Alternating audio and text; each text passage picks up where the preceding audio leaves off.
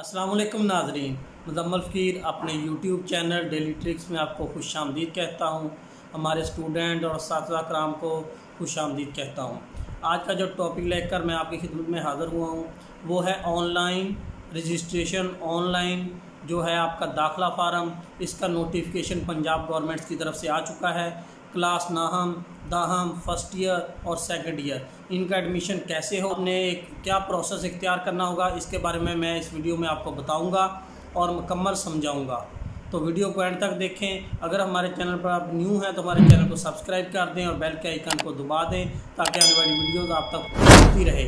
Video को start करते हैं और चलते हैं कंप्यूटर की स्क्रीन पर। जैसा कि स्क्रीन पर आपको नोटिफिकेशन नज़र आ रहा है, ये नोटिफिकेशन डिस्ट्रिक्ट बहावलपुर का है। इसी तरह तमाम ज़िला में नोटिफिकेशन जारी कर दिए गए हैं।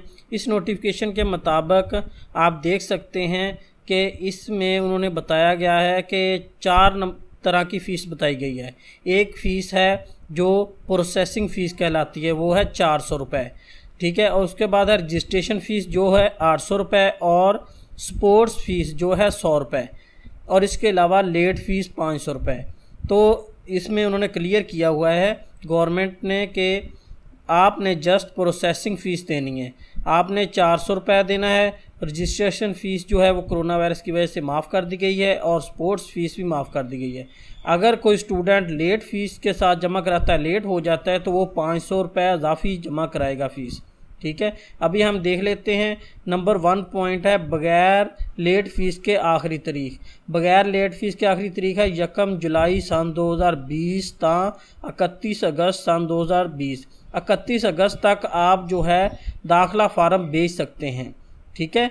और इसके बाद नंबर टू है, अभी आप पॉइंट देख लें, उसके बाद मैं आपको मुकम्मल प्रोसेस बताऊँगा कि आपने कैसे एडमिशन भेजना है, कैसे दाखिला भेजना है, किस तरह ऑनलाइन अप्लाई करना है। सेकंड में उन्होंने वही बताया हुआ है कि पाँच सौ रुपये लेट फ़ीस है, ठीक है? और लेट फ़ीस जो है, वो भी आप पंद्रह सितंबर तक, यकम सितंबर से पंद्रह सितंबर 2020 तक आप भेज सकते हैं। इस डेट तक आपके कागजात जो हैं, वो दिए गए पते पर पहुँच जाएँ, ठीक है? उसके बाद बताया गया है मिडल स्टैंडर्ड इम्तहान का रिज़ल्ट लेट शाया होने की सूरत में दाखिला। यानी कि वही बताया गया है कि आठवीं का जो रिज़ल्ट है वो शाया होगा। तो उसके दस दिन बाद आपने, दस दिन के अंदर अंदर तमाम जो आपके कागजात है वो आपने जमा करवाने हैं। मोरखा पंद्रह नौ सन 2020 के बाद जमात नाहम में दाखिला की इजाज़त नहीं होगी। यानी कि पंद्रह सितंबर के बाद दाखिले की इजाज़त नहीं होगी। ठीक है? और इसके लिए आपने करना क्या है?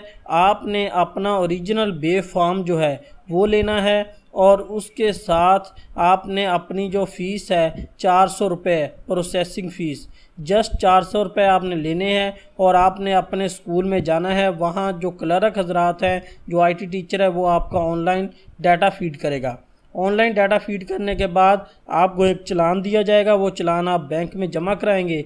और जमा कराने के बाद वापस हेड मास्टर के पास आकर स्टैंप लगा लगवा कर हेड मास्टर जो है वो वेरीफाई करेगा। वेरीफाई करने के बाद वो कागजात जो हैं और असल चलान जो है वो दिए गए पते पर बोर्ड की तरफ़ भेज दिया जाएगा। Board of intermediate and secondary education को बहावलपुर या हर डिस्ट्रिक्ट में भेज दिया जाएगा।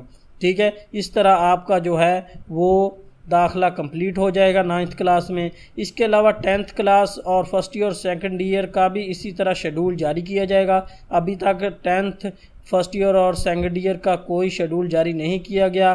तो जैसे शेड्यूल जारी किया जाएगा, आपको उसके मतलब बता दिया जाएगा, आपकी रहनमई कर दी जाएगी। Thanks for watching.